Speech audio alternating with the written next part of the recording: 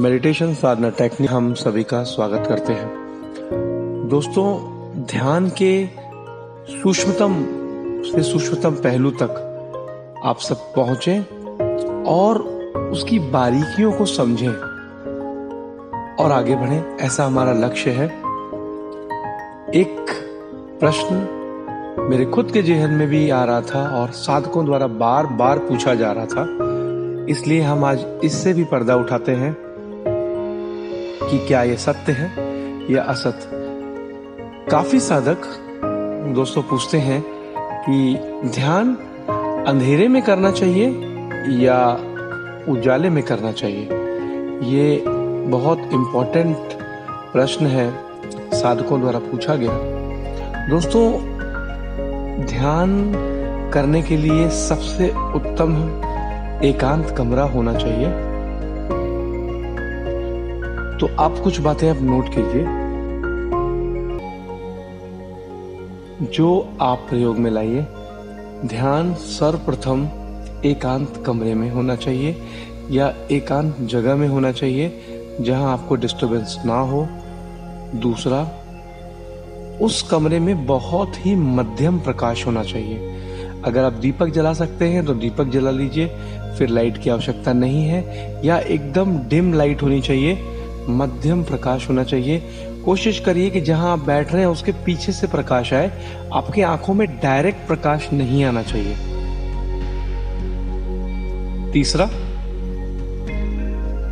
ध्यान के कमरे में आपका आसन और आपका खड़ा हुई, आपकी चप्पल वहीं पे रखी होनी चाहिए, ताकि आप आसानी से उसमें आरामदायक मुद्रा में बैठ सकें। ये तीन सावधानियाँ हमको रखनी है और सबसे इम्पोर्टेंट है, दोस्तों, प्रकाश। मैं आज इस पे थोड़ा सा विवरण आपको देता हूँ। दोस्तों, लगभग लगभग हर ध्यानी साधक इस स्थिति से गुजरता ही है। जब भी वो ध्यान करेगा तो ध्यान के कुछ समय के बाद उसको कुछ कलर्स उसके आज्ञा चक्र पर दिखते हैं। कुछ कलरों को, कुछ रंगों को, किसी को वायलेट दिखता है, किसी को व्हाइट दिखता है, किसी को रेड कुछ ना कुछ कलर्स किसी के सामने आते हैं। तो वो कलर्स आपको अगर लाइट सामने से आ रही है तो आप उन कलर्स को नहीं देख पाएँगे और भ्रमित रहेंगे। वो कलर्स आप उनको पहचान नहीं पाएँगे। दोस्तों, सबसे इंपॉर्टेंट चीज़ है कि हमें कलर्स के पीछे नहीं भागना है। लेकिन अगर सामने से लाइट आ रही है ना तो जो अंधेरा है, जो घटनाएँ घटित होने वाली हैं, या जो आपको दिखना है, वो नहीं दिख पाएगा। इसलिए सबसे इंपॉर्टेंट है कि कमरे में बहुत मध्यम प्रकाश होना चाहिए। चाहिए तो आप दीपक जला लीजिए, या डिम लाइट आपके पीछे होनी चाहिए।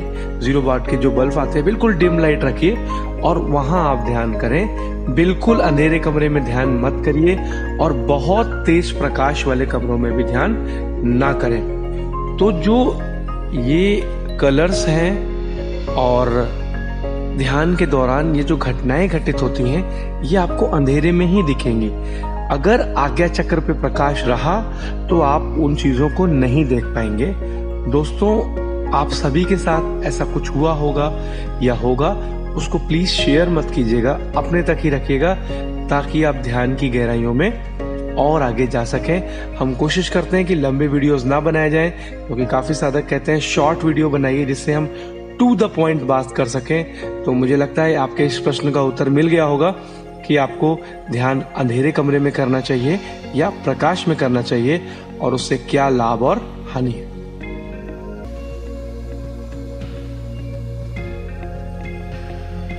मेडिटेशन, ध्यान साधना टेक्निक्स आपके अपने चैनल में आपका स्वागत है।